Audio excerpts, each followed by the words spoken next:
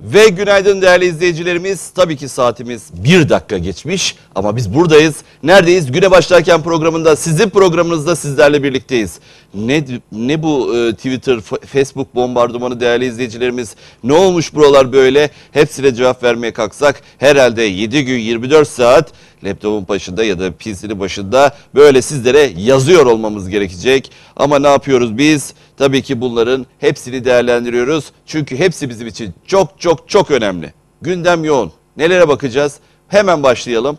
Diyeceğiz ki 14 Mayıs gününe yansıyan olaylar, sonrasında gazete başlıkları, hemen programın sonunda önemli bir klip. Bu klibi daha da önce izlemiştiniz ama bugün gereklilik hasıl oldu. Aynı videoyu sizle paylaşacağım. Bir videomuz var, nedenini anlatacağım. Sonra ne yapacağız? Bir reklam arası vereceğiz. İkinci bölümde güne, düne yansıyan haberlerle devam edeceğiz. Programımızın sonunda da 12 Mayıs'la alakalı, 12 Mayıs neydi? Onunla alakalı bir klip var. Onu da açıklayacağım. Çok önemli, beğeneceğinizi tahmin ettiğim bir klibimiz var programımızın sonunda. Hepimiz için önemli bir klibi paylaşacağım. Ama programımıza başlamadan, 14 Mayıs tarihine e, başlamadan önce ne yapıyoruz? Bakacağız. 12 13 Mayıs'ta neler oldu?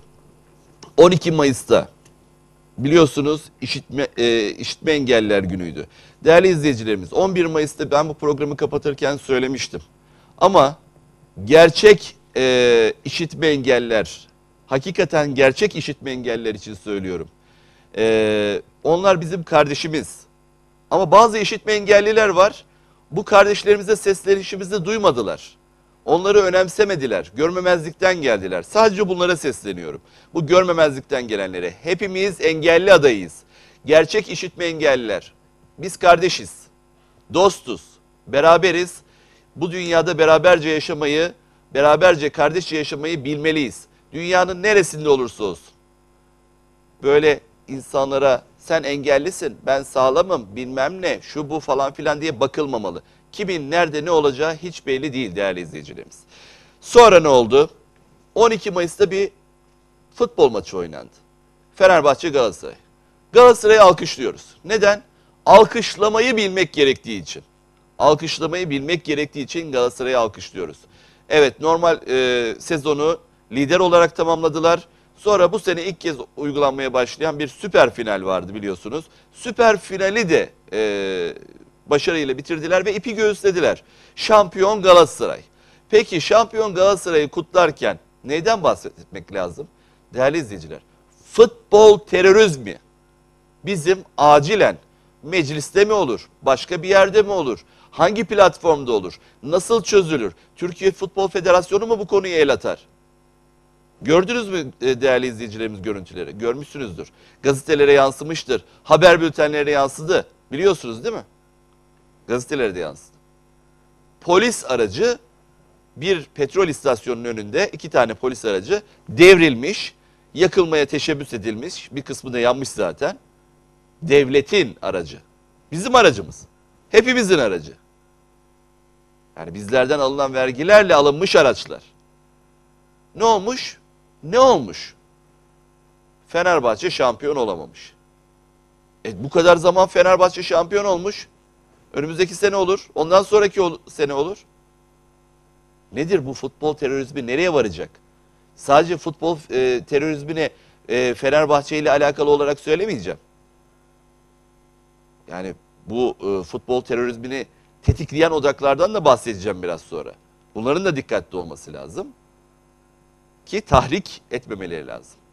Hemen geleceğim, oraya da geleceğim değerli izleyicilerimiz. Sırayla gidelim. 12 Mayıs'ı geçtik. 13 Mayıs'ta Ovid tünelinin temeli atıldı. Hayaldi, gerçek oldu. İnşallah en kısa zamanda da sonuçlanacak, bitecek ve biz de diyeceğiz ki oh be işte dünya varmış. Hakikaten yol kısalacak. Ee, sonra ne oldu? 13 Mayıs.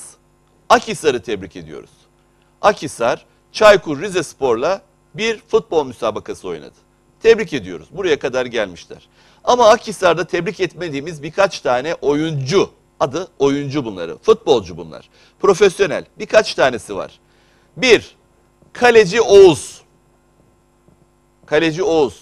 Kendisi büyük bir kulüpte oynamıştır zamanında değerli izleyicilerimiz. Bu kaleci kardeşimiz ne yaptı biliyor musunuz? Eveledi, geveledi, topu oyuna sokmakta geç kaldı ama bir hakem vardı ki bir hakem vardı ki orada e, sebepsiz yere yerde yatan futbolcuyu görmemezlikten geldi. Orada futbolun zamanından çalan Oğuz'a sarı kartı ancak maçın sonlarına doğru gösterebildi. Eli bir türlü cebine gitmedi. Kararları, çaldığı düdükleri yanlı ve yanlış verdiğini düşünmekteyim. Neden?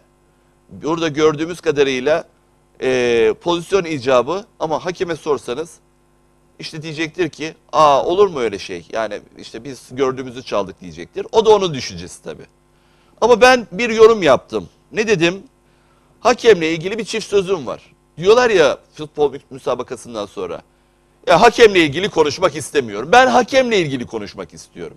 Evet, bence bu hakem gerçekten e, müsabakanın bu hakemi müthiş bir hakemdi. Değerli izleyicilerimiz diyeceksiniz ki ya hakemle ilgili bu kadar kötü şeyler söyledin de şimdi nasıl müthiş bir hakemdi diyorsun.